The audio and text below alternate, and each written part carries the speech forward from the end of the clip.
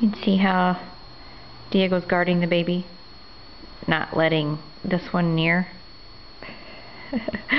Are you watching the baby? Are you watching the baby? You're a good babysitter, Zorro.